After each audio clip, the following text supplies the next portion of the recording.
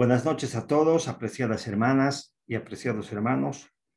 Un abrazo para todos los presentes. Continuamos hoy con el ciclo de charlas de marzo y abril de la Sociedad Teosófica de Cochabamba, que es una labor de difusión teosófica y cultural, siguiendo el segundo principio que nos aconseja el estudio comparativo de religiones, ciencias y filosofías. Nuestros temas son, uno, la inscripción en el oráculo de Delfos, consagrado a Apolo, que dice, hombre, conócete a ti mismo. Y el otro es una de las ciencias de la antigua sabiduría, la astrología vista desde su perspectiva psicológica. Que Atenea con su sabiduría nos guíe. Eh, la serie de charlas comprende el primer tema, la psicología de los signos, que van a ser tres charlas. El segundo tema es iniciación y transformación, que son dos charlas. El tercero es el sendero de la vida, una charla. Y el cuarto es la era de Acuario, una charla. Estamos ahora con la segunda parte de la psicología de los signos. Nos corresponde ahora la cruz fija. Dice la señora Blavatsky, vuestro destino está escrito en las estrellas. La astronomía y la fisiología son los cuerpos. La astrología y la psicología son las almas. Las primeras caen bajo el estudio de los ojos corporales, las segundas bajo el de los ojos espirituales, pero todas son ciencias exactas. Esto está en la Doctrina Secreta, tomo 5, del libro de editorial Kier, página 135. A pedido de algunos hermanos, voy a repetir una parte de la introducción de la anterior semana.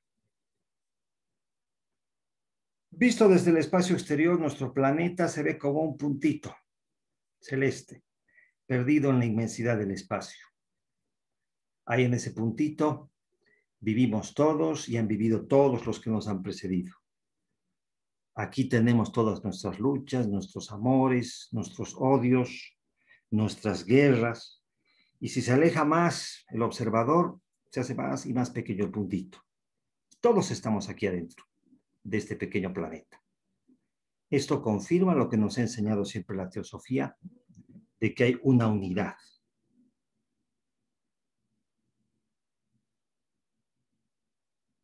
Nuestro sistema solar está compuesto por el Sol, Mercurio, Venus, la Tierra con su luna, Marte, Júpiter y Saturno. Hasta, eh, hasta ahí se conocía, hasta Saturno en la astrología tradicional. Recientemente es que se, se han descubierto los tres últimos planetas, Urano, Neptuno y Plutón. Tienen un significado muy especial que lo vamos a ver en la iniciación son los planetas de la iniciación. Este gráfico no está a escala, obviamente. La distancia que existe desde el Sol a Plutón es de 5.916 millones de kilómetros. O sea, es una inmensidad. Si observamos el primer gráfico, dice nuestro sistema solar, está el Sol con los planetas, como hemos visto, con esa longitud tan grande, que en realidad es pequeña.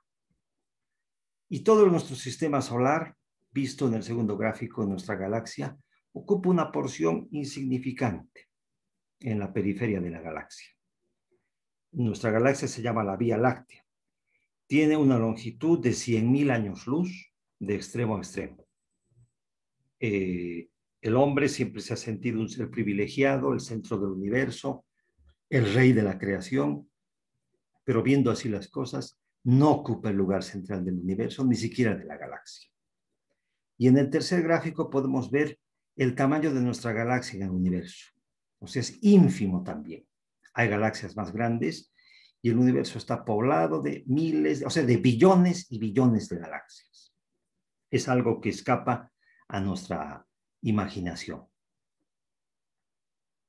Estas son imágenes del telescopio espacial Hubble, pueden ver ustedes varias constelaciones y nebulosas que en realidad son a todo color. Desde nuestra posición, cuando vemos el cielo en la noche, podemos verlo todo oscuro. Pero vean, está pletórico de colores y yo creo que de vida. Los antiguos, eh, bueno, esta es la galaxia de Andrómeda, que se parece a la Vía Láctea, solo que es un poquito más grande, tiene 110 mil años luz. Se supone que dentro de algunos billones de años van a chocar nuestra galaxia con la galaxia de Andrómeda. Bueno, ya no vamos a poder ver eso. En el centro de la galaxia está la constelación de las Pléyades y la estrella principal es Alción. La señora Blavatsky nos habla del sol central espiritual y el sol central de la galaxia, que son lo mismo. O sea, la estrella principal, nuestro sol central espiritual y físico es Alción, dentro de las Pléyades. Las Pléyades se ubican en el cuello de Tauro. Eh, aquí podemos ver una de las ah, constelaciones más conocidas, que es Orión. En realidad, aquí en, la figura de la derecha pueden ver, es un grupo de estrellas que no tiene ninguna relación con un personaje. Seguramente ha cambiado desde el momento que le dieron ese nombre. Aquí vemos en la figura que Orión tiene un cinturón. Aquí en la otra figura podemos, ver que son tres estrellas las que conforman el cinturón de Orión. Se llaman Alnitak, Alnilam y Mintaka. Y tienen una distancia de Alnitak 700 años luz, Alnilam 1340 y Mintaka 915 años luz. O sea, no están en un mismo plano de referencia, pero desde nuestra posición las vemos como si estuvieran juntas. De este aspecto vamos a hablar más ampliamente en otra charla, pero es para darnos una idea de eh, la configuración que tienen estas constelaciones y galaxias por lo que reciben sus nombres. Si vemos el cielo, vamos a ver las estrellas simplemente. Pero eh, si imaginamos, podemos ver esos contornos, esas figuras eh, casi geométricas que les dan sus nombres. Simplemente se verían así. Pero para los antiguos, el cielo se vería así. Poblado de seres. Las estrellas son puntitos que les dan eh, sus nombres y su configuración. Estaría pletórico de vida. Y es este, de este concepto que surge la fuerza de la astrología antigua. O sea, consideraba que todo ahí arriba está vivo. Y en realidad vienen a ser dioses, seres divinos los que están allá arriba, y de una u otra forma están rigiendo los destinos de la Tierra. Yo comparto esta opinión de los astrólogos antiguos.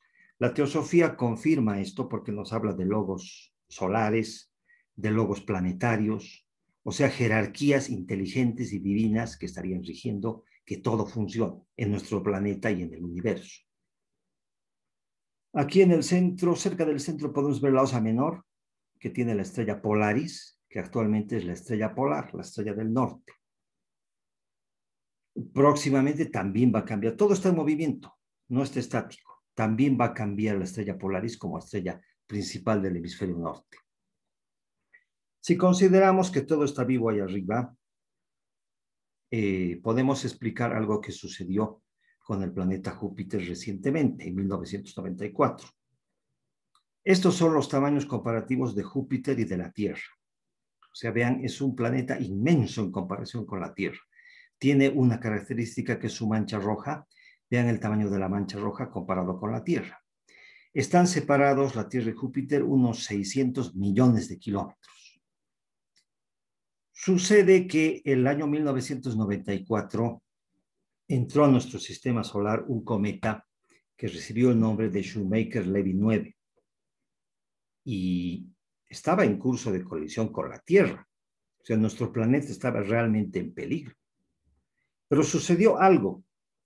La fuerte gravedad de Júpiter, dicen los científicos, atrajo al cometa hacia Júpiter. Lo desvió completamente de la Tierra y nos puso a salvo y en el ir a traerlo al cometa hacia Júpiter, lo destrozó. El cometa finalmente, hecho varios fragmentos, se estrelló contra Júpiter, en la parte de abajo podemos ver, le dejó varias heridas. Según la ciencia, es la explicación de la gravitación fuerte de Júpiter que atrajo al cometa. Pero yo pienso que el hermano mayor, o sea, es una familia en nuestro sistema solar, de acuerdo a este concepto, el hermano mayor de la Tierra, que era Júpiter, nos defendió. luchó contra el cometa, recibió heridas, pero salvó a la Tierra. Entonces, consideramos que está vivo, tiene una inteligencia, hay un logos planetario también en Júpiter. Y en todo lo que se ve ahí arriba, en los cielos. Cualquier noche podemos ver así las estrellas y podemos imaginarnos la grandiosidad de lo que hay ahí arriba.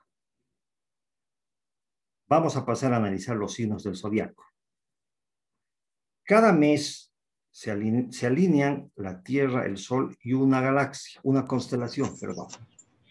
En nuestra Vía Láctea tenemos 88 constelaciones. Eh, de las 88 constelaciones de nuestra galaxia, hay 12 que se alinean exactamente con el Sol cada mes. Perdón, alguien tiene su micrófono. Entonces, el Sol está alineado con esa constelación en particular y decimos que el Sol está en Escorpio, por, decir, o que está en Libra, exactamente con una de las doce. Es de aquí que ha surgido la franja del zodiaco y los doce signos que conocemos. Cada quien conoce ya eh, los periodos de duración de cada signo, sabe bajo qué signo nacido. Esa parte vamos a omitir. Decíamos también que podemos clasificar a los 12 signos por los elementos. El elemento fuego estaría compuesto por Aries, Leo y Sagitario. El elemento tierra por Tauro, Virgo y Capricornio. El elemento aire, Géminis, Libra y Acuario. Y el elemento agua, Cáncer, Escorpio y Piscis. Esa sería una clasificación. Hay otra clasificación que es la que estamos usando en estas charlas, eh, existirían tres tipos de cruces, que son la cruz cardinal, a la que corresponden Aries, Cáncer, Libra y Capricornio. La cruz fija, Tauro, Leo, Escorpio y Acuario. Y la cruz mutable, Géminis, Virgo, Sagitario y Piscis. Hay otra clasificación que es por proyección. Los signos personales son Aries, Tauro, Géminis y Cáncer. Los signos sociales son Leo, Virgo, Libra y Escorpio. Y los signos universales son Sagitario, Capricornio, Acuario y Piscis. Hay un sistema de opuestos polares, ¿no? O sea, los signos que están frente a frente. Aries y Libra, por ejemplo, están frente a frente. Tauro, Escorpio, Géminis, Sagitario. Eh, se llaman opuestos polares en realidad son afines y complementarios. No quiere decir que estén peleados por estar opuestos, sino que están frente a frente. Al hacer nuestro análisis estamos viendo que se complementan eh, los que están en ese eje. Esto también ya lo vimos la anterior semana. Para la confección de un horóscopo, carta natal o carta astral, como quieran llamarla, se necesitan tres datos la fecha de nacimiento de la persona, la hora de nacimiento y el lugar de nacimiento. A partir de esos tres datos se levantan, se levanta la carta en función a las efemérides, la hora siderea, las correcciones que se tengan que hacer por horarios y se obtiene esta rueda que estamos viendo aquí. En este caso, este es el, horóscopo, la carta de la señora Blavatsky, nacida el 12 de agosto de 1831. Su ascendiente, que es el primer signo que, del que gira la rueda, es cáncer. A veces el signo del ascendente es más fuerte y más dominante que el signo de nacimiento. Veíamos la anterior semana que los que han nacido en determinada época son los hijos de Aries o los hijos de Tauro, pero a veces los hijos de, Aries están dominados por el signo de cáncer. Viene a ser un hijo de cáncer o una combinación de los dos. Se acomodan después los planetas en los lugares por grados que les corresponda y se tiene la carta completa. Ahora, las relaciones que existen entre los planetas se marcan por los ángulos que están formando entre ellos. De ahí surgen las cuadraturas, los trígonos, las conjunciones. Es el lenguaje que estarían teniendo entre sí los planetas. En realidad, pero en estas charlas no vamos a tocar esta parte. Estamos yendo al aspecto eh, psicológico y al aspecto espiritual esotérico que nos enseña la doctrina secreta. Bueno, esto lo vimos la anterior semana. Esta es una alegoría de los signos del zodiaco. Las tres cruces, que era una de las clasificaciones que veíamos antes, son estas tres. Tenemos la cruz cardinal primero, que está compuesta por Aries, Cáncer, Libra y Capricornio. Su aspecto positivo es la fuerza de voluntad. Su aspecto negativo es el miedo al fracaso y a ser mediocre. El signo que mejor representa la energía cardinal como tal es Aries y el planeta el Sol.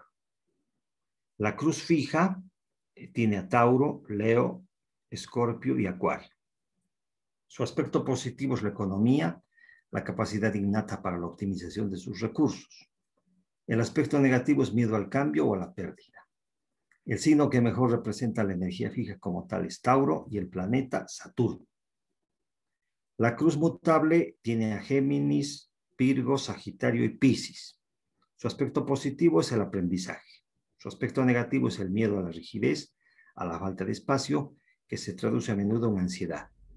El signo que mejor representa la energía mutable como tal es Géminis y el planeta la Luna. De acuerdo a la clasificación tradicional, la cruz primera y más importante es la cruz cardinal, le sigue la cruz fija. Y la cruz menor, pero no menos importante, es la cruz mutable.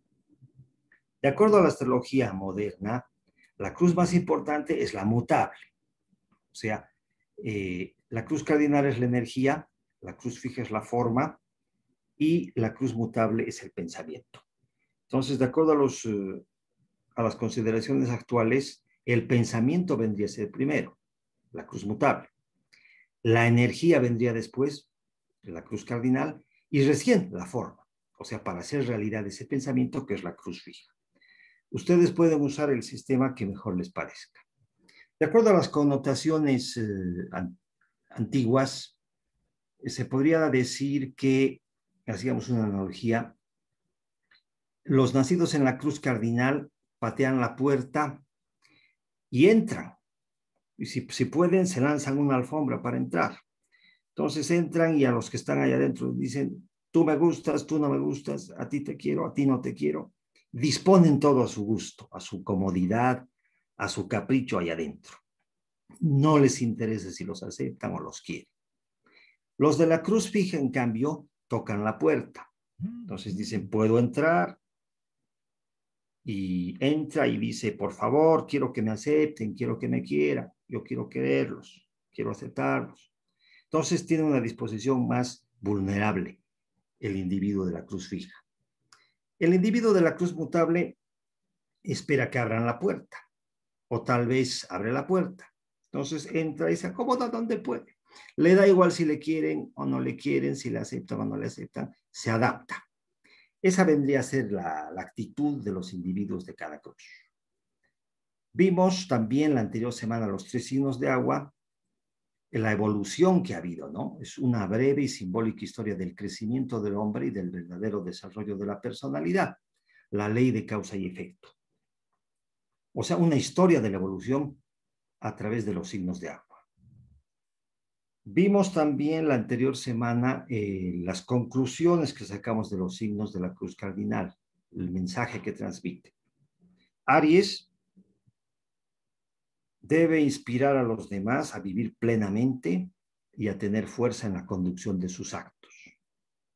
Cáncer debe enseñar el equilibrio entre las emociones y la razón, entre el niño interior y la madre protectora, y además el valor del hogar.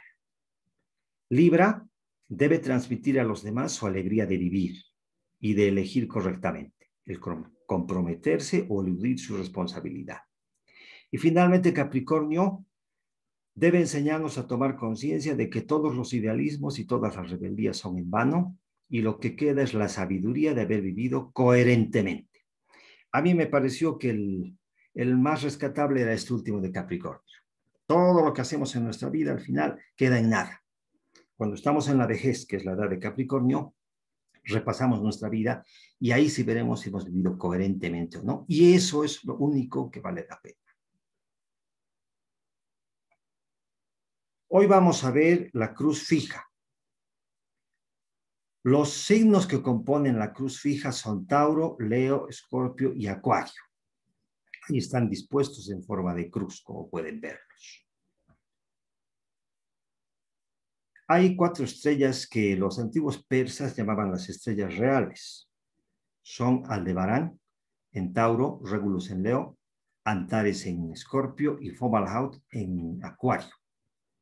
Es muy interesante esto de las estrellas fijas y lo vamos a ver más adelante también. Es simplemente una relación que en la cruz fija están estas cuatro estrellas importantes. Aldebarán es el ojo de Tauro. Mm, Alex Bailey dice en sus libros de astrología, cuando la luz ilumina el, el ojo, entonces podemos ver o algo así, el ojo de Tauro. El ojo de Tauro es la estrella Aldebarán. Es una estrella gigante Regulus es el corazón del león.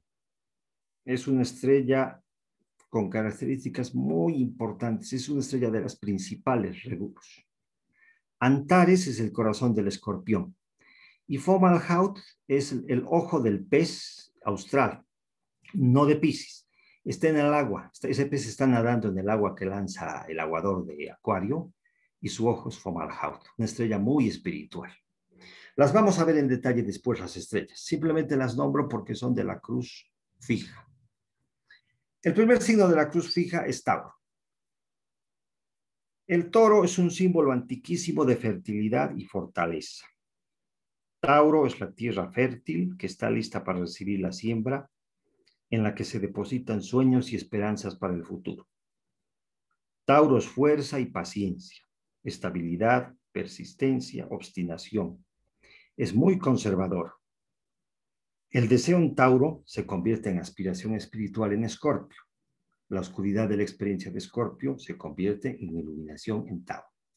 Como veíamos hace rato, se forman ejes entre signos opuestos.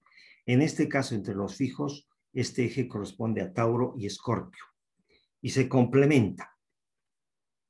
Tauro no es sumiso, ya que como el toro en el ruedo, es capaz de embestir con toda su fuerza cuando se ve agredido o no gratificado.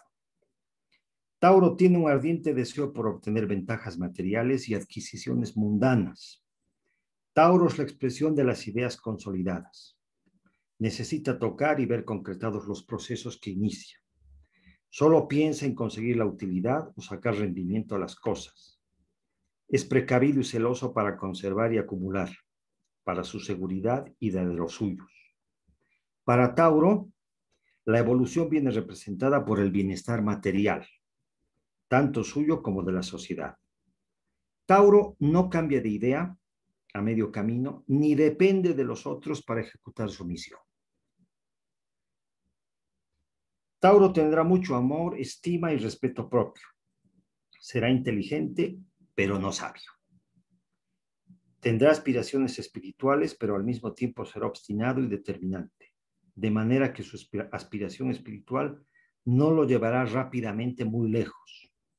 Actuará esporádicamente y con impulsos incontrolados. Tauro no aplica de inmediato en forma práctica el conocimiento obtenido. Lo considera más bien como una adquisición mental y no como una experiencia práctica. Es casi consciente de la dualidad que descubrirá Géminis pero en lugar de luchar por obtener la unidad, suele sentir depresión.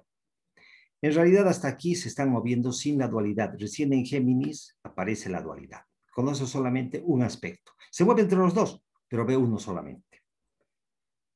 El toro es el origen del placer físico, de la exuberancia y del poder económico.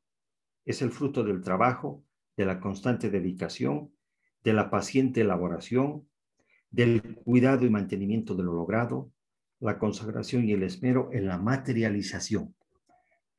Cuando la voluntad del toro es fuerte, todo lo que hace es prudente, firme y seguro, pero puede afectar su salud física por los excesos. Es más sensorial que mental. Su vertiente material le lleva a tener facilidad en el manejo del dinero y las finanzas. Es fatalmente realista y poco sensible a las especulaciones mentales y a las sutilezas de los ideales. El pensamiento es lento y los sentimientos son duraderos. Empieza lentamente, pero una vez en marcha no se detiene. Pero le falta un poco de ductilidad y adaptación a las circunstancias. Veíamos, eh, comentábamos la anterior semana, eh, es, fiel, es fiel Tauro y en el aspecto de la pasión, hemos visto que el mejor amante entre Escorpio y Tauro es Tauro. En realidad dicen que es el mejor del zodiaco. Su solidez lo lleva a mantenerse contra viento y marea en los propios principios, sin dejarse conmover por los demás. Existe en Tauro un deseo sensual de saborear las experiencias, deseo de placer, imaginación creativa, necesidad de seguridad afectiva y atractivo físico. Tauro aprecia el cuerpo y sus placeres. En el amor y en la amistad hace entrega de lo mejor de sí. Su inteligencia es tangible y concreta. No hay, no hay que pedirle rapidez porque quiere tomar su tiempo y decidir. Si adquiere ventajas porque apenas descansa y es laborioso. Huye de la dispersión y de lo que no es su objetivo inmediato hay una lenta asimilación elaborada día a día. En Aries encontramos la liberación de las energías y en Tauro su asentamiento, el soporte de la vida, las bases para el crecimiento, la fecundidad y potencia a la que se puede llegar si se hace un correcto uso de las formas en el plano físico. El toro tiene el destino simbólico de inspirar a los demás la fuerza de la voluntad sobre la materia para dominarla y ponerla a su servicio. Tauro es la casa 2, que tiene que ver con las posesiones materiales y con el dinero. O sea, eh, es, el primer signo del elemento tierra, o sea que tiene un control sobre el plano físico, puede ejercer su voluntad sobre la materia. Este es el gran secreto de Tauro y, y su misión es enseñarnos a dominar la materia.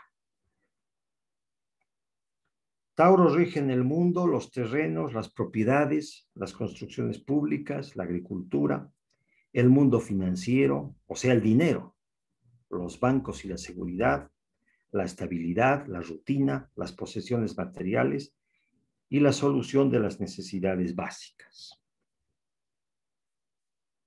Veíamos que hay tres decanatos eh, en cada signo y los hemos asimilado de acuerdo a la instrucción de Arturo Mata en las cartas del tarot.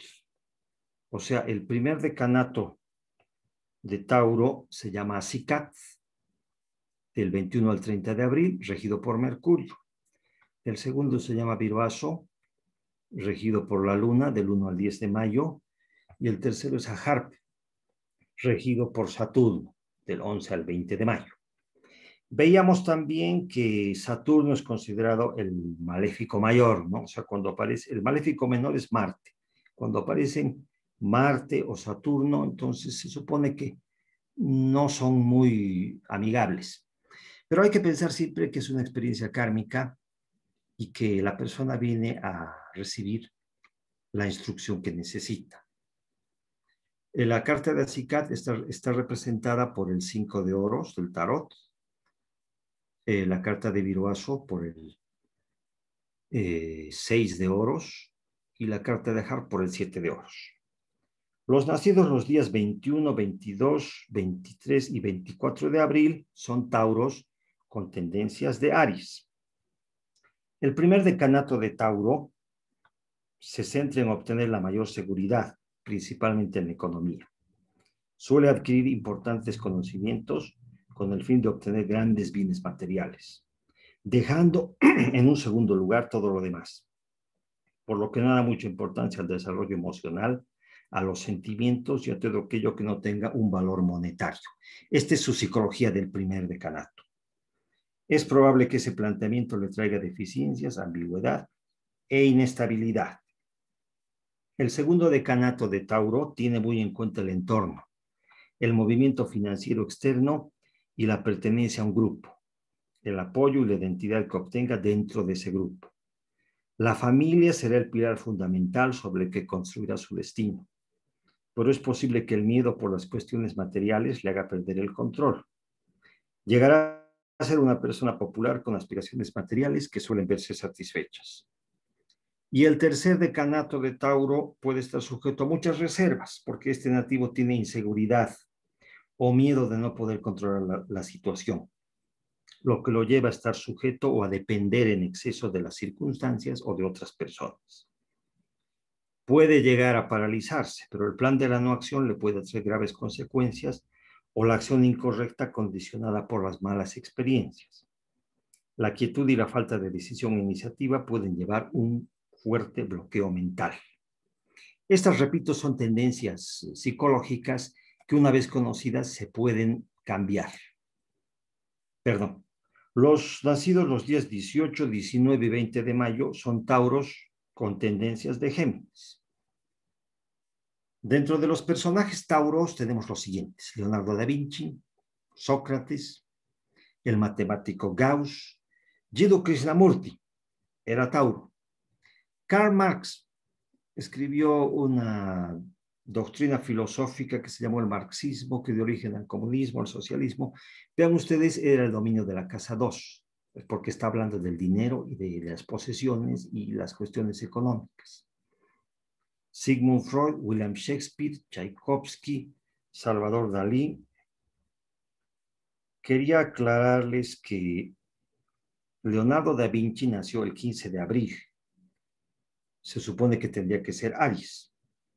Pero resulta que en 1582, el 4 de octubre, por orden del Papa Gregorio XIII, se adelantaron 10 días. Al día siguiente del 4 de octubre de 1582 fue 15 de octubre de 1582. O sea, se cambió de calendario. El anterior era el juliano, se hizo una rectificación porque vieron que estaba mal. Y desde ese momento hasta el día de hoy estamos en el calendario gregoriano. Leonardo da Vinci nació en 1452, 130 años antes. Entonces, eh, corresponde a otro sistema por lo que es Tauro. No es eh, Aries. Entre los personajes modernos tenemos a Mark Zuckerberg, los actores, el actor Dwayne Johnson, el cantante Enrique Iglesias, los actores Al Pacino, George Clooney, Jack Nicholson y el Papa Juan Pablo II. Mark Zuckerberg es el creador de Facebook y su presidente actual. Es un Tauro del 14 de mayo. Dice que tiene 73 mil millones de dólares. O sea, pueden ver ustedes hasta dónde puede llegar el poder de, de Tauro, el poder económico que es en realidad el control, el uso de la, fuerza de la voluntad sobre la materia. Y siendo prácticamente adolescente logró todo esto, ¿no? Otro Tauro famoso del 20 de abril es Adolf Hitler. O sea, tuvo mucho peso en la historia y en el mundo actual. O sea, inició la Segunda Guerra Mundial. Es un, es un aspecto oscuro en realidad del signo de Tauro, con su eje escorpio. Enseguida lo vamos a analizar. Entre las mujeres Tauro podemos nombrar a la reina Isabel II, las actrices Jessica Alba, Uma Thurman, Michelle Pfeiffer, Penélope Cruz y Gal Gadot. Los frescos de la Capilla Sixtina en el Vaticano, que fueron pintados por Miguel Ángel, se iniciaron el 10 de mayo de 1508, o sea que son Tauro de nacimiento. Y su culminación el día de la inauguración fue el 31 de octubre de 1512 en Escorpio, o sea, se inició en Tauro y terminó en Escorpio. Esto está literalmente en el eje Tauro-Escorpio. O sea, eh, un trabajo monumental, una, un, bloque de piedra gigante, ¿no? Una, un trabajo en el plano físico inmenso. Y las representaciones son esotéricas, son eróticas, se censuraron inclusive, escandalizaron, o sea, se complementan perfectamente en este eje. El eje oscuro del que les hablaba es el eje Tauro-Escorpio. Lo llaman así, ¿no?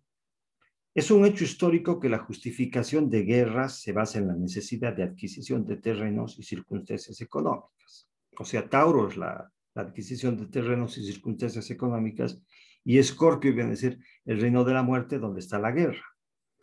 Y se encuentra en la polaridad Tauro-Escorpio. Por otro lado, vivimos en una sociedad que no nos ofrece suficientes canalizaciones para el eros, o sea, el instinto sexual. Así como el cristianismo convirtió a Afrodita, o sea, la regente de Tauro, en una pecadora, una prostituta. A Plutón, el regente de Escorpio, lo transformó en Satán. Eh, a los griegos, de donde surgió Plutón, de la mitología griega, Jamás se les habría ocurrido ver al dios del mundo subterráneo, el, el submundo, como una figura satánica. Simplemente era el que gobernaba ahí abajo, o sea, el, reino de los muertos, pero no era Satanás. La cultura judeocristiana convirtió tanto a Afrodita como a Plutón en parias. Esto se ha quedado en el inconsciente colectivo. O sea, se ve a, la prostituta y todo lo que tenga que, ver con el sexo como algo pecaminoso. Y se ve al otro lado a Satanás, como la figura del, del inframundo. O sea, están juntos en ese eje. Cuando se habla del eje Tauro-Escorpio, podríamos llamarlo el eje oscuro. Y es para todos un poco difícil integrar en forma consciente, ¿no? Porque no, no sabemos que lo estamos haciendo, pero es difícil integrarlo en nuestra vida. Siempre va a ser pecaminoso el, sexo, siempre va a existir Satán y la adquisición de bienes materiales y dinero siempre va a conllevar la lucha. Es para meditarlo. Pasamos al siguiente signo de la cruz fija, que es Leo. El signo del león es activo y osado, tomando su fuerza de una individualidad poderosamente desarrollada. Su naturaleza es rebelde, individualista, egocéntrica y dictadora. Sus fines son realistas y no con propósitos de utopía. Presenta una figura de autoconfianza y de dominio sobre las situaciones, pues es el rey. El rey de la selva es el león trabaja mucho con el yo, con el ego, ¿no? Aunque no es un yo como el de Aries, el, otro signo de fuego, eh, sin tanta demostración externa agresiva, sino magnánimo y asentado en la super autovaloración. Tiende siempre a la reafirmación de sí mismo por medio de la separación y la distancia jerárquica que muestra a cuantos le rodean. Siempre está al día en conocimientos, habilidad e imagen siempre que las atribuciones repercutan en su autoconfianza y colaboren a su mayor brillo social y personal. Leo puede estar callado, pero antes o después consigue hacerse notar en forma inequívoca. No resiste la idea de ser uno más del grupo. Tiende a mandar en forma paternalista, pero siempre dominando. Los segundos puestos no le van bien. Es generoso, pero siempre quiere que se le reconozca. Le cuesta ser en el silencio sin tener imagen. Reclama reconocimiento a su persona. Tiene una poderosa vitalidad y un optimismo sano. Se rodea de personas a las que transmitir su alegría de vivir y de amar. Esto lo hace sin crear una dependencia hacia los demás. Veíamos la anterior semana que cáncer, por ejemplo, se rodea igualmente, pero crea dependencia hacia él de los demás. Este no. Tiene un gran sentimiento de su propio valer e importancia y una mayor o menor dosis de orgullo. Y quiere hacerlo siempre todo a lo grande. Leo suele decir lo que piensa, por lo que no es difícil saber de qué lado está. Alterna su valor para defender lo que hace con su afán de exhibir lo que considera sus virtudes. Desde joven procura evitar los pesares propios o combatir los de los demás ante todo, no le gusta el sufrimiento, ni entiende que haya personas que viven en un mundo emocional o mental tormentoso. No suele sufrir muchos cambios, de estado de ánimo, sino que se mantiene con una aparente y bienhechora serenidad. En los leos poco evolucionados predomina un afán de goce, casa de diversiones y una notable falta de responsabilidad. Le encanta que se le demuestre cariño, pero luego es soberbiamente desagradecido. Por ello su pareja, una vez satisfecha la pasión, la abandona y hasta la desprecia. Este Leo es burlón con complejo de superioridad, frívolo y autoindulgente, o sea que se perdona todo lo que hace, se justifica y se perdona. El Leo evolucionado, en cambio, es digno y fomenta en sus semejantes la autoafirmación. Tiene habilidad ejecutiva e intenta que los demás lo vean poderoso valiente y airoso, pero a veces le marca la vanidad, la soberbia y el orgullo, ya que desea vivir y saborear con placer su gran personalidad, la grandeza y la fama. Es entonces un verdadero ególatra que rinde culto a su persona y un narcisista que se ofende por su amor propio. Los leones son ambiciosos en el amplio sentido de la palabra, pero no es una ambición estudiada o recelosa como en el caso de Capricornio, veíamos la anterior semana, que planea lo que va a ser Capricornio, sino que se anuncian antes de comenzar su carrera y son bien claros en, sus intenciones. Cuando emprenden alguna cosa, tienen que saber de antemano que conseguirán brillar. No aguantan que se rían de ellos. El ridículo golpea a Leo con tanta fuerza que suele pasarlo emocionalmente fatal. Los leos son muy materialistas. Les encanta hacerse regalos a sí mismos y a su apariencia.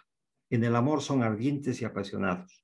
Aman de verdad, pero su amor está desproporcionado y les cuesta ponerse en el lugar de su pareja. Exigen demasiado para sí y fingen en muchas ocasiones para conseguir sus fines. Llevan mal los vaivenes sentimentales y no entienden que se les desprecie. Curiosamente, los mayores desengaños los reciben por su arrogancia y por no saber ser humildes. El ideal máximo de un león evolucionado es la libertad y el respeto, todo guiado por un sentido moral digno y noble. Leo tiene el sentido simbólico, tiene el destino simbólico de iluminar a los demás, para que en su presencia todos olviden sus sufrimientos y se llenen de luz y de valor. Esa es en realidad eh, la misión de Leo, a pesar de, todo, de toda su egolatría. Leo rige en el mundo los niños, los amores, la educación, las especulaciones, el mundo artístico y teatral, las diversiones, los espectáculos, los juegos de azar, la elevación, la gloria y la fama artística. Eh, vamos a ver igual los tres em, decanatos de Leo. El primer decanato de Leo, regido por Saturno, se llama Fruimis, del 23 de julio al 2 de agosto. En este camino Leo vivirá experiencias profundas que seguramente dejarán huella, pero no debe verlas como obstáculos o dificultades. Debe manejarse con prudencia para conseguir buenos resultados. Debe evitar tener una vida sentimental tormentosa, ya que su orgullo puede chocar de frente con la realidad lo representa el 5 de bastos del tarot. El segundo decanato de Leo del 3 al 13 de agosto es un decanato muy bendecido en realidad, en lo material. Se llama Citácer, regido por Júpiter. Júpiter es el gran benéfico, ¿no? El benéfico mayor. Este Leo tiene una fuerte convicción ideológica o religiosa y una necesidad de reconocimiento social. Quiere liderar y dirigir y tener autoridad.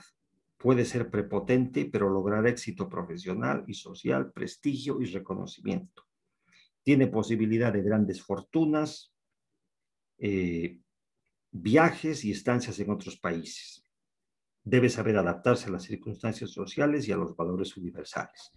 El tercer decanato de Leo es Fonicie, representado por el siete de bastos del tarot, regido por Marte. Estos leos suelen buscar y conseguir autoridad y liderazgo, pero ello, les lleva a múltiples luchas y conflictos. Es un camino muy ajetreado con dificultades e imprevistos. Como camino de Marte puede ser de naturaleza destructiva para sí mismo o para los demás. Es querer conseguir que se le reconozca la autoridad mediante la fuerza. A este decanato pertenecía el emperador Napoleón Bonaparte, por ejemplo. Los nacidos los días 23, 24 y 25 de julio son leos con tendencias de cáncer. Y del otro lado, los nacidos los días 19, 20, 21 y 22 de agosto son leos con tendencias de Virgo. Tenemos eh, entre los personajes destacados de Leo a la misma señora Blavatsky y al coronel Olcott, ambos nacidos bajo el signo de Leo el emperador Napoleón Bonaparte, como les decía, el rey Luis XVI de Francia, Simón Bolívar, Benito Mussolini, Fidel Castro. Neil Armstrong, el primer hombre que pisó la luna, era Leo. un Leo fue el primer hombre que llegó a la luna. Carl Jung, que nos ha dado todos eh, eh, los descubrimientos psicológicos que manejamos actualmente, era Leo. Orville Wright, uno de los inventores del avión, el director Hitchcock, el actor Arnold Schwarzenegger, la, actriz Sandra Bullock, Harry Potter, el actor Daniel Radcliffe. Entre las mujeres leos tenemos a Madonna, Gillian Anderson, Halle Berry, Mila Kunis, Charlize Theron y Jennifer López. Henry Ford fue el inventor del automóvil. A mi manera de ver, el invento es de fuego. O sea, sería directamente una creación de fuego el automóvil, desde, desde ese momento hasta el día de hoy.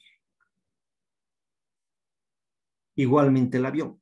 Los hermanos Wright, Orville era Leo y Wilbur era Aries. O sea, el avión. E, ellos hicieron un, un aeroplano bastante primitivo, ¿no? Pero el avión desde ese momento hasta ahora, yo también lo entiendo que es una creación de fuego.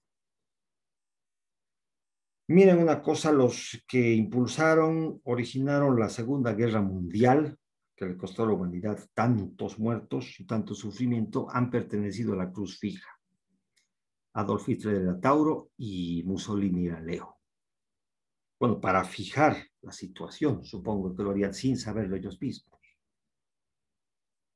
Entre los monumentos tenemos el Arco del Triunfo de París, se tardó 30 años en construir este arco de triunfo, que es famoso. También correspondería al elemento, al signo Leo. Los tres signos de fuego. De Aries proviene el fuego cósmico, de Leo el fuego solar y de Sagitario el fuego planetario. Cada uno de estos fuegos expresa los tres aspectos divinos, espíritu Aries, alma Leo y cuerpo Sagitario aplicados por el hombre plenamente autoconsciente para reflejar los tres aspectos divinos en los tres mundos. O sea, estamos hablando del elemento fuego, ¿no? Que corresponde a estos tres signos. Eh, quería comentarles, no sé si hay entre las, las hermanas eh, mm, eh, nacidas bajo signos de fuego. O sea, las mujeres de fuego tienen que tener cuidado con sus parejas porque la mujer de fuego quema a sus parejas. O sea, llega a sufrir un daño de alguna naturaleza al lado de una mujer Aries, Leo o Sagitario. Se queman. O sea, por si acaso les paso el dato, eh, existe este aspecto. Pasamos al signo de Escorpio.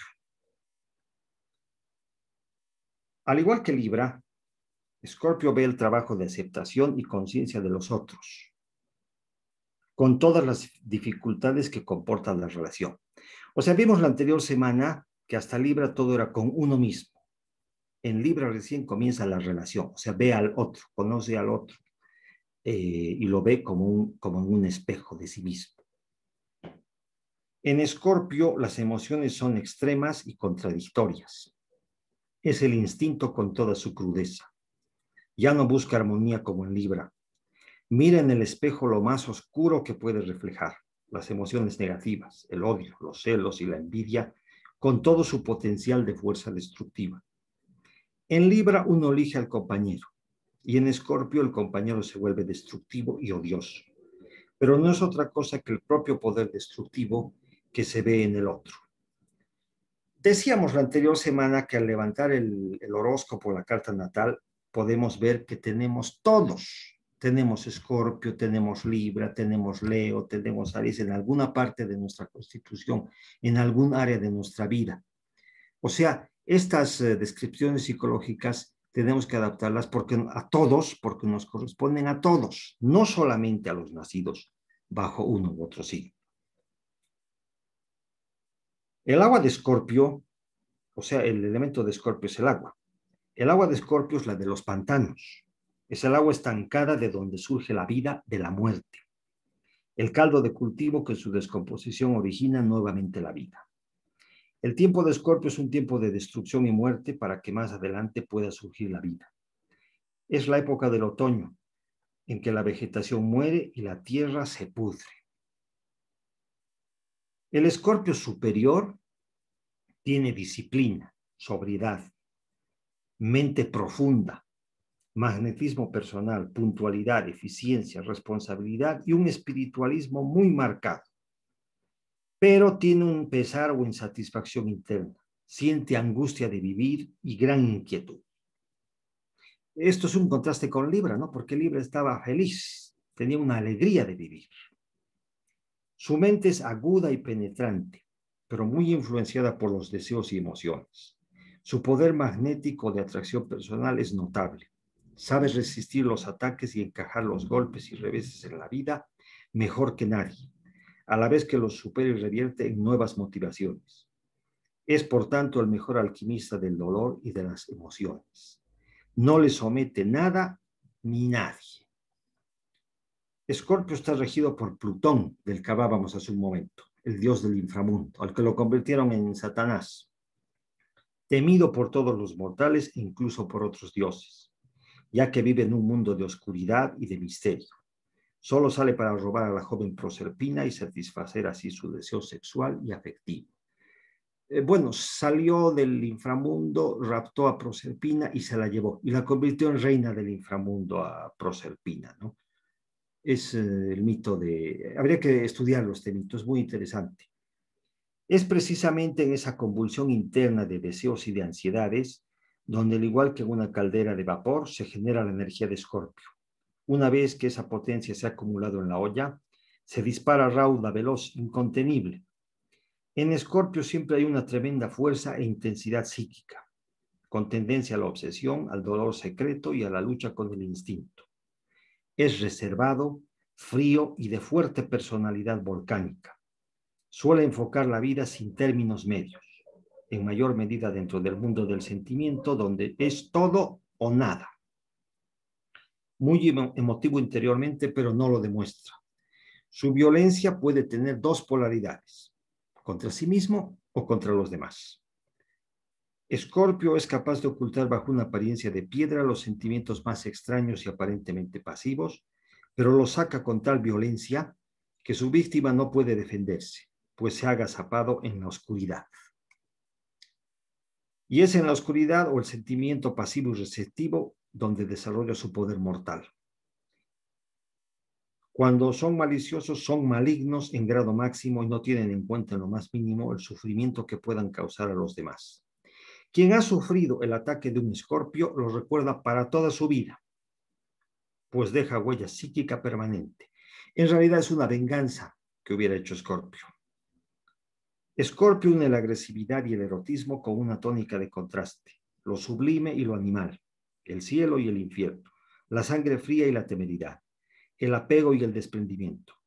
Mentalmente tiene tendencia a la contradicción, a la argumentación y a las polémicas agresivas.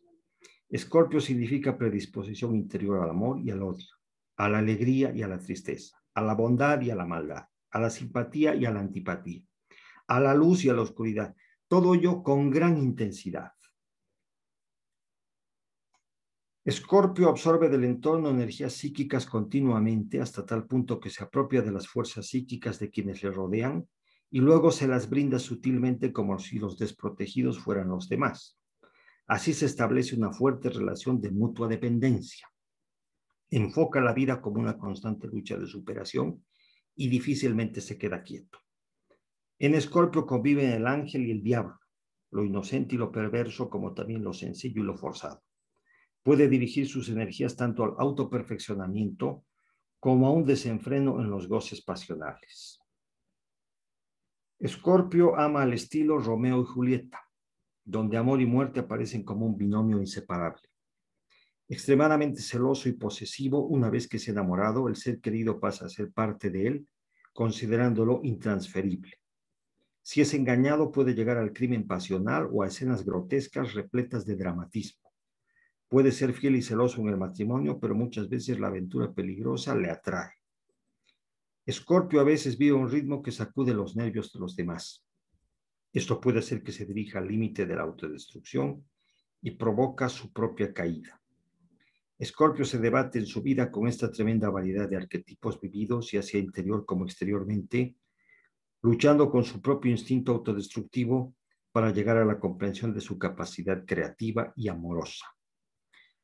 Hay una, una particularidad de los alacranes, los escorpiones, que cuando están en peligro se clavan su aguijón, o sea, se, se, matan, se suicidan. De ahí es que viene en, en comparación con el alacrán esta tendencia autodestructiva de los escorpios. Al final se clavan ellos mismos su, su, aguijón y mueren por su propio veneno.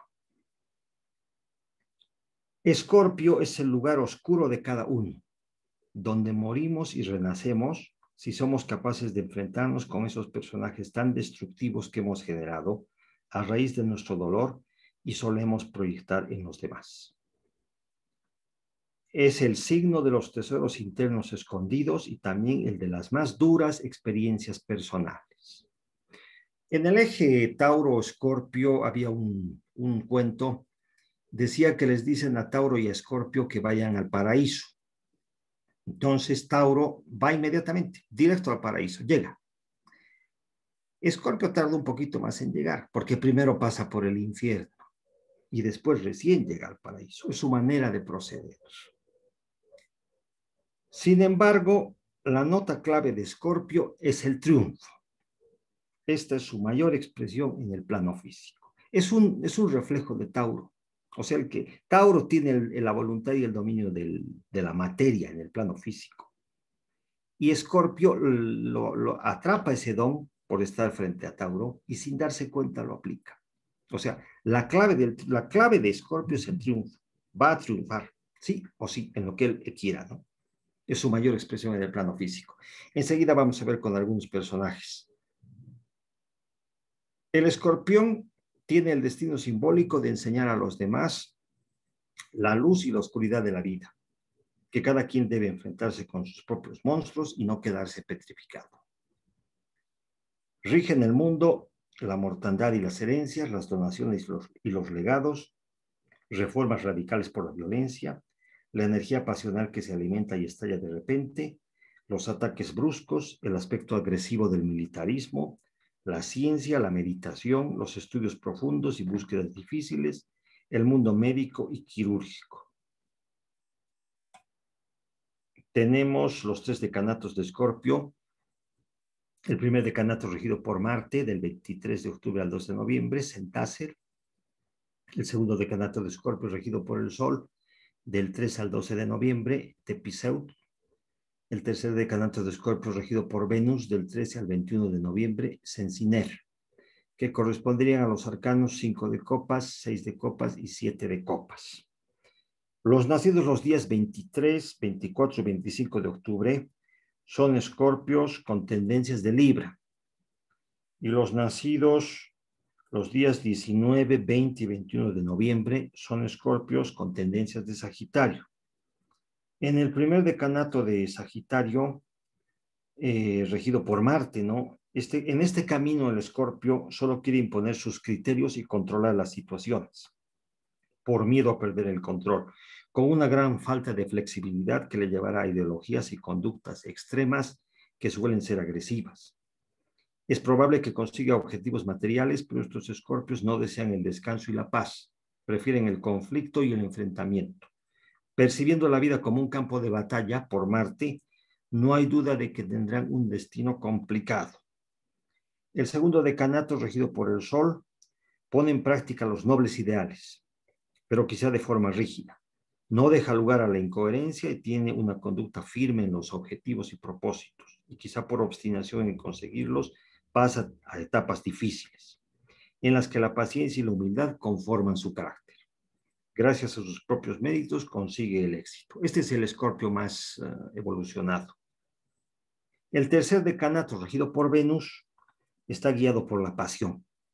Busca vivir experiencias profundas e intensas que no siempre puede integrar en su conciencia Puede buscarse todo tipo de conflictos que afecten a sus finanzas y a su patrimonio. Sus relaciones pueden ser complicadas, quizá por cuestión de elección. Presenta fuerte contradicción sentimental. La fuerza de las emociones suele tomarse como patrón en el plan vital y ello suele traducirse en situaciones más bien complicadas. Tenemos eh, personajes Escorpio, la reina María Antonieta de Francia que fue guillotinada, en la Revolución Francesa, Madame Curie, que descubrió el, rayo, el radio, Niccolo Paganini, Martín Lutero, fue considerado el anticristo, Martín Lutero, él fue el que estableció la división del cristianismo, ¿no? En católicos y protestantes. Charles de Gaulle, Pablo Picasso, el cantante Eros Ramazzotti, el actual presidente de los Estados Unidos, Joe Biden. Bill Gates eh, es un es un escorpio del 28 de octubre. Eh, tiene, dice, la, cantidad, la fortuna de 96 mil millones de dólares. Era el hombre más rico del mundo. El primer lugar lo ocupa, a ver, parece que ahora ya está más atrás. Ha fundado la Microsoft. O sea, es un ejemplo, ¿no? De hasta dónde puede llegar Scorpio en el dominio de la materia. Alain Delon, Leonardo DiCaprio, Julia Roberts, Demi Moore, el futbolista Diego Maradona y Evo Morales también, eh, Scorpio del primer decanato. La Estatua de la Libertad en Nueva York eh, corresponde al signo de Scorpio del 28 de octubre de 1886. Vamos a ver eh, los sentimientos en los signos de agua. En cáncer, los sentimientos son cambiantes y se expresan siempre activamente, alternando el placer y el dolor en constante sucesión. Vimos que a cáncer le gusta sufrir, ¿no? Los sentimientos se refieren al yo personal, por consiguiente hay egoísmo. El interés es por el yo. En Escorpio, los sentimientos son pronunciados en atracción y repulsión. El amor o el odio son activos, siendo frecuentemente profundos en el afecto e implacables en el odio. Su naturaleza de deseo es muy potente, siendo este el signo del zodiaco en el que el sentimiento se concentra en estados de ánimo permanentes. En Pisces las emociones son profundas y extensas, duales y románticas. Son más impersonales y el elemento amoroso es más pronunciado. El odio raramente se encuentra en este signo, de ahí que encontremos amores de todas las criaturas torpes y desvalidas y una amplia simpatía. Sus sentimientos se dirigen a inferiores o superiores en forma de piedad o de reverencia. Cáncer mantiene el sentimiento, no mantiene el sentimiento mucho tiempo. Escorpio lo lleva hacia el infierno y Piscis lo lleva hacia el cielo. Esa es la característica de los sentimientos de los tres signos de agua. Vamos a ver ahora el último signo de la cruz fija, que es Acuario. Ganímedes es el Acuario mitológico. Zeus transformándose en águila lo tomó en sus garras y lo subió al Olimpo encargándole allí el oficio de copero del néctar de los dioses. Acuario es el signo fijo de aire, es decir, toda la fuerza de este elemento, huracanes y vendavales. Acuario es la máxima expresión de lo mental. Se ha juzgado Acuario como el revolucionario, de temperamento conflictivo, anárquico, nervioso, impreciso, mental e innovador está sumido en pensamientos reformadores que transformen su entorno y su persona hacia campos nuevos. Acuario es fiel en la amistad con el código de libertad, igualdad y fraternidad. Tiene un gran conocimiento erudito, pero vive en un mundo de su pura y exclusiva creación mental, siendo un utopista por excelencia, y anda sin pisar la tierra. Necesita conciliar lo ideal con lo real. Acuario tiene dos regentes, Urano y Saturno. Si está demasiado metido en su mundo utópico de Urano, la crisis le sobreviene del mundo real. Y si está demasiado en el mundo real de Saturno, el problema es la vida rutinaria, sin dirección ni sentido. Piensa más en el futuro que en el presente y se descuelga de la realidad que le toca vivir día a día. Las ideas de Acuario no son nunca aceptadas en su entorno. Solo es el tiempo simbolizado por Cronos Saturnos quien le da la razón. Hay gran cantidad de personajes de este signo que vivieron desconectados de los hombres de su tiempo y fueron tratados de locos. El aguador prefiere estar solo para el estudio y la reflexión, pero la compañía le es necesaria para su equilibrio personal. Siempre está conservando su independencia. En todo momento procura evitar compromisos de tipo práctico. Acuario es tranquilo externamente, pero por dentro es nervioso y eléctrico. Es original en todo lo que hace, buscando su propio camino a seguir.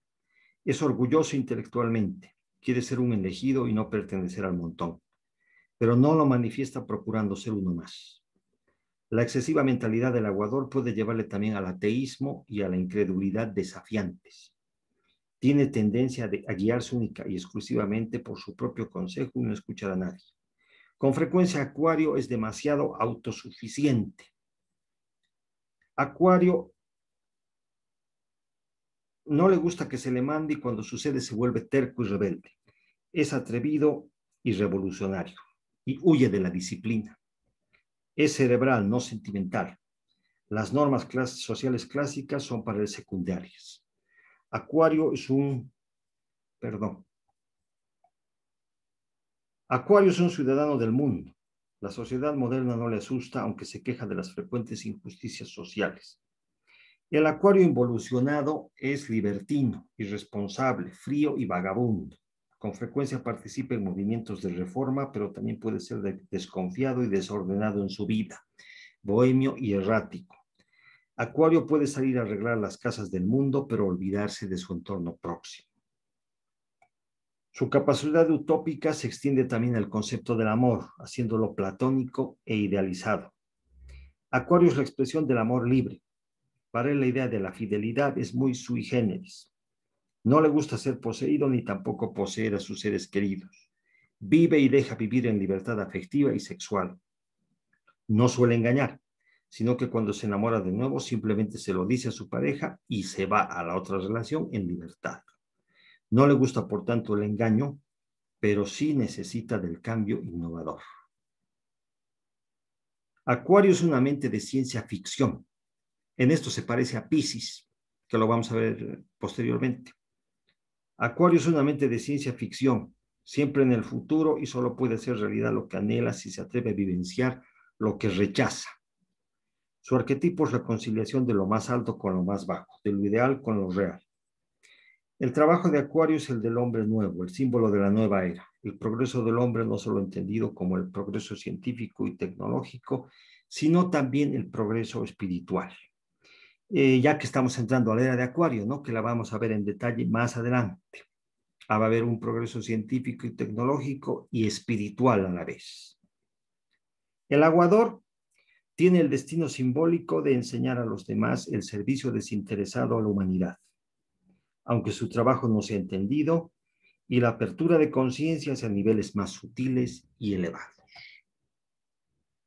rigen el mundo las computadoras, el Internet, los celulares, los sindicatos, agrupaciones cívicas, cooperativas, sociedades de cooperación y ayuda, movimientos con tendencia a la unidad, la fraternidad o al desarrollo de ideas nuevas, la república, la democracia, la solidaridad, la unión de los pueblos, las ciencias nuevas, las tendencias sociales hacia la liberación y la cultura. Todo lo que es el mundo moderno. Eh, vemos los eh, decanatos de Acuario. Los nacidos los días 20, 21, 22 y 23 de enero son acuarios con tendencias de Capricornio. El primer decanato de Acuario, regido por Venus, eh, es Oroacer, es el 5 de espadas del tarot. El acuariano en este camino buscará la comodidad, la armonía y una vida agradable, sin que las ambiciones puedan hipotecar su bienestar consigue sus objetivos y un bienestar material procedente de buenas gestiones patrimoniales y también por el apoyo de la familia. En la vida amorosa suele existir inestabilidad y tensión, pero también tiene mucha gratificación. El segundo decanato de Acuario Astiro es el 6 de espadas, regido por Mercurio, del 1 al 9 de febrero. Es el llamado camino de la curiosidad. Este acuariano tiene fuertes deseos de aprender todo lo que es nuevo, pero después tiene algunos problemas para llevar la teoría a la práctica. Aprende del fracaso y termina por tener las ideas muy claras. Y el tercer decanato de Acuario, regido por la luna, te pisa atrás, el 7 de espadas, del 10 al 20 de febrero.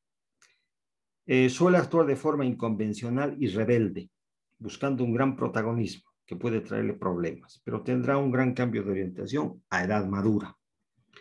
Pese a su individualismo, suele pertenecer a algún colectivo, asociación o clan sobre el que apoyarse. Su sentido de la familia y la sociedad es muy particular, pero a veces totalmente opuesto a la realidad.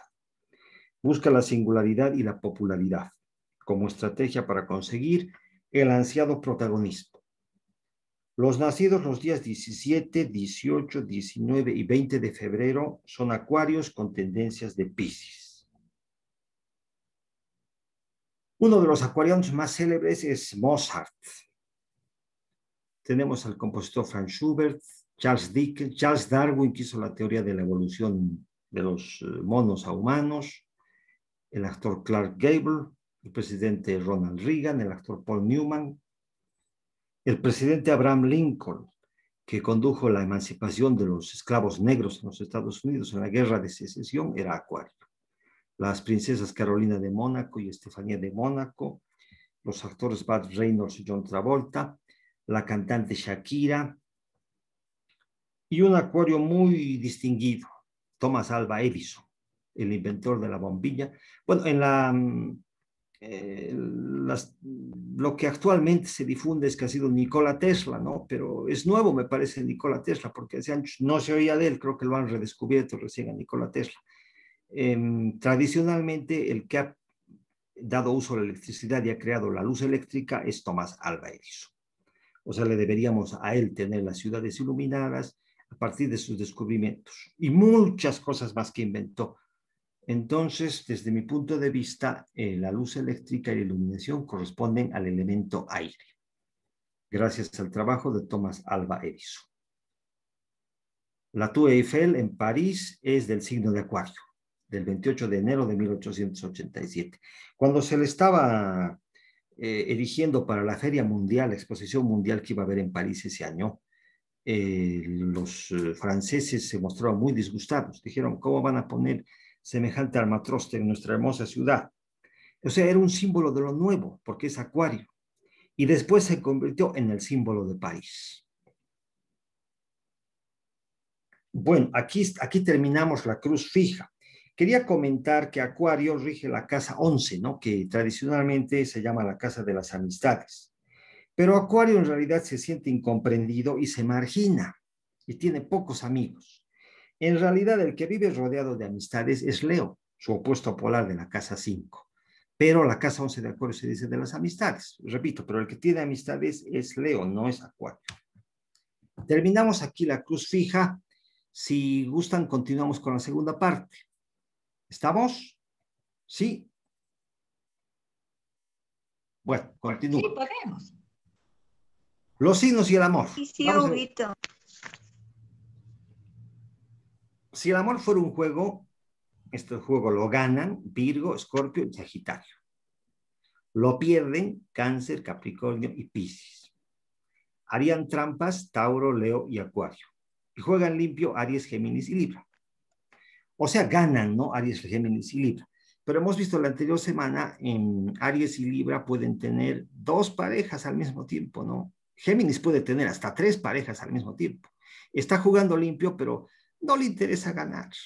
En cambio, los que, los que ganan quieren hacerlo para que sea permanente, ¿no? Los que pierden quedan muy sufridos porque también quieren hacerlo permanentemente. Los tipos de amor. El tipo de amor de Aries es el realista, de Taurus el trabajador, de Géminis el inspirador, de Cáncer el intuitivo, de Leo el romántico, de Virgo el sencillo, de Libra el espontáneo de Escorpio el decisivo, de Sagitario el aventurero, de Capricornio el tranquilo, de Acuario el honesto y de Piscis el emocional. ¿Qué quieren los signos de ti? En realidad aquí se refiere a las mujeres, ¿no? Los Aries quieren pasarlo bien. Tauro quiere un buen momento. Géminis que puedan tener una conversación profunda. Cáncer quiere un hombro donde llorar. Leo quiere dejar su corazón contigo. Virgo quiere tu confianza. Libra, una linda cara para mirar. Escorpio quiere amor, eh, que se traduce como sexo.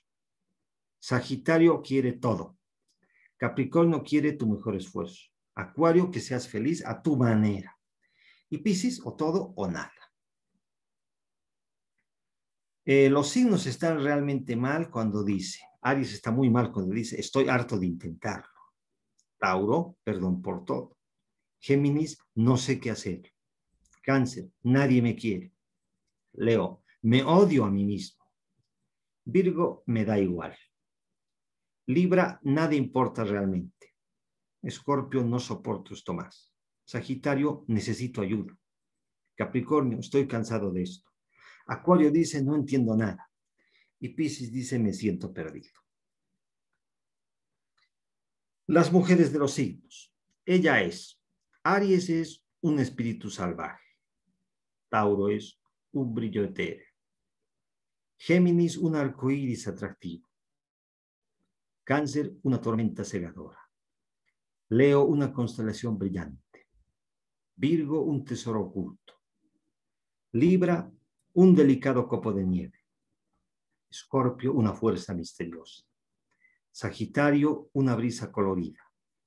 Capricornio, una belleza poderosa. Acuario, un universo desconocido. Y Piscis, una dulce maravilla. Vamos a ver unas, algunas curiosidades. De acuerdo a la astróloga Linda Brady, dice, eh, en el caso de una casa, Aries es la entrada, el recibidor, la antesala, la sala de recepción. Tauro corresponde al jardín y a los muebles. Géminis es el pasillo, el teléfono, el garaje. Cáncer es la cocina, la sala de estar, los grifos de agua. Leo es la habitación de los niños, el cuarto de juegos, el cuarto de la televisión. Virgo es el cuarto de baño, la ducha, la lavandería.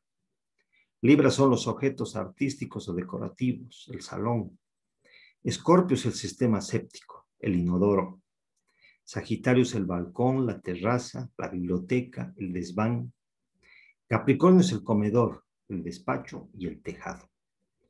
Acuario es la instalación y los aparatos eléctricos, las computadoras, los celulares, obviamente. Piscis es el sistema de desagües. A ver, me dícenlo. ¿A qué le teme cada signo? Aries le teme no tener miedo, no tener miedo al miedo, o tiene miedo a estar quieto. Tauro teme quedarse sin dinero y tiene miedo a los cambios. Géminis tiene miedo a establecer una sola cosa en particular o necesitar a otra persona. Cáncer tiene miedo de estar sin las personas que constituyen su columna vertebral, o sea, su familia, aunque por momentos estar con ellos pueda convertirse en una pesadilla. Tiene miedo a no ser querido ni apreciado y tiene miedo de dejar un lugar seguro. Leo tiene miedo de ser olvidado o ignorado. Virgo tiene miedo a la imperfección y tiene miedo de sufrir y enfermar. Libra tiene miedo a la soledad o al aislamiento. Escorpio tiene miedo a ser ridiculizado. Sagitario tiene miedo que lo controle. Capricornio tiene miedo al fracaso. Acuario tiene miedo a las instituciones, los rituales familiares, las tradiciones y las metas a largo plazo. Tiene también miedo a estar confinado en un lugar cerrado. Y Piscis tiene miedo a ser rechazado y tiene miedo de hablar en público. Me parece que cuando Piscis logra superar el miedo de hablar en público, desaparecen sus miedos. Hay dos tipos de sinceridad, contacto y sin tacto. Contacto la tienen Tauro, Cáncer, Libra, Sagitario, Acuario y Piscis. Y sin tacto, obviamente, Aries, Géminis, Leo, Virgo, Escorpio y Capricornio. Eh, son nacidos para ser diferentes los Aries, Tauros, Escorpios y Piscis. Nacidos para ser difíciles, Leos, Virgos, Libra, Capricornio. Y nacidos para ser perfectos, bueno, según ellos, no según la apreciación particular de cada signo. Acuario, Sagitario, Cáncer y Géminis. Eh, los, que, los que viven en una adolescencia constante son Tauro, Virgo, Cáncer, Escorpio y Sagitario. Almas viejas y experimentadas, Capricornio, Acuario y Piscis. Y niños permanentes, Aries, Géminis, Leo y Libra. Me parece que esto, es, em, esto está bastante acertado. Bueno, los signos, ¿no? Fuertes son Aries, Virgo, Escorpio. Honestos son Tauro, Libra y Sagitario. El mismo, o sea, auténticos, originales, transparentes son Géminis, Leo y Capricornio. Y amables son Cáncer, Acuario y Piscis. Bueno, aquí termino, eh, queridas hermanas, queridos hermanos, la charla de hoy. Espero que haya sido de su agrado. Muchas gracias, Huguito. Si tienen